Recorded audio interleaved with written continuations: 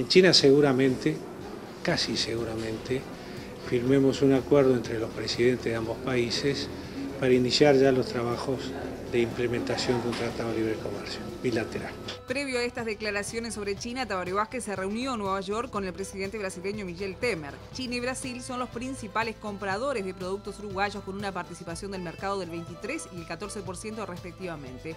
Desde la Cancillería aseguraron que los pasos de Vázquez en materia de integración incluyen la firma de un acuerdo con Chile, un tratado de libre comercio con China, ingresar al acuerdo transpacífico y abrir embajadas en África.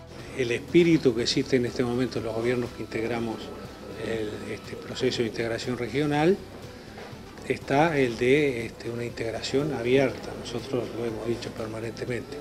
Y ayer el presidente de Brasil me expresó, expresó ahí en la reunión, que él es partidario de abrir, de flexibilizar el proceso de integración de tal forma que permita a los países que eh, lo integramos, que lo conformamos, poder lograr también acuerdos bilaterales.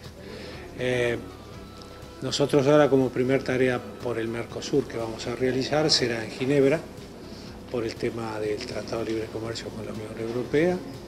Hay voluntad de los cuatro países que estamos en el Mercosur de avanzar en este tema. Parecería que en la Unión Europea también existe interés en avanzar en los mismos. Y bueno, este, eh, el Reino Unido nos adelantó ya su interés en ver si podemos lograr un acuerdo de libre comercio entre Uruguay y el Reino Unido. Todos estos caminos los vamos a explorar y también, por supuesto, cuando estemos en China.